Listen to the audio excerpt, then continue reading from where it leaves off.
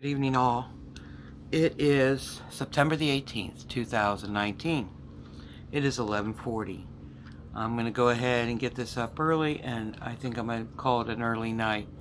I'm sort of tired and sore from doing these panels on the back porch. So I'm going to go ahead and get it done and hit the sack early, okay?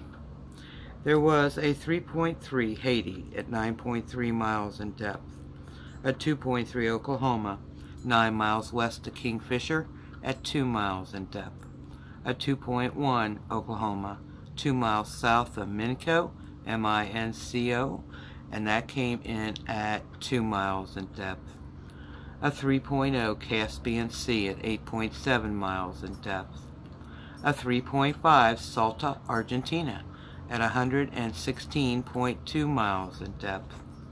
There was a 3.5 Haiti region again. This one came in at 13.6 miles in depth. Now there was a 4.3 uh, Argentina province, 37 miles north-northwest of San Antonio de los Carros, Carbos. Alright, that came in at 128 miles in depth. There was a 3.4 Central Turkey, that came in at 4.3 miles in depth. A 3.5 near the coast of Honshu, Japan. That came in at 32.9 miles in depth. There was a 3.0 Crete, Greece at 1.2 miles in depth. A 3.6 Antofagasta, Chile at 64.0 miles in depth. There was a 4.2 North Island of New Zealand, and both USGS and EMSC had it at 101.2 miles in depth. Both links will be in the description box. There was a 3.6 Ecuador at 107.5 miles in depth. Now we have a little problem, okay? USGS said there was a 2.9 Alaska Peninsula 74 miles north-northeast of Chignik, S-C-H-I-G-N-I-K Lake. They've got it at zero miles in depth.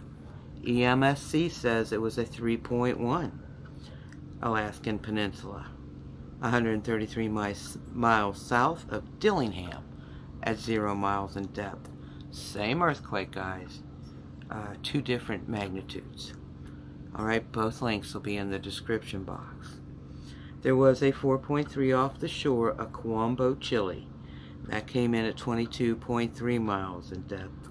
This one just occurred at 4.4 Banda Sea at 134.8 miles in depth.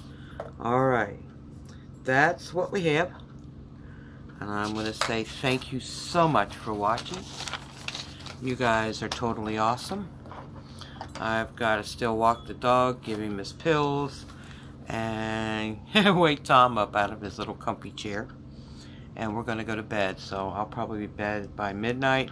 If anything happens between now and midnight, I'll get it to you if it's major, alright? So, God bless each and every one of you. Thank you so much for watching. Sweet dreams. Dream softly. Sending much love, guys. Thank you so much again. I'll be back in the morning for the morning report.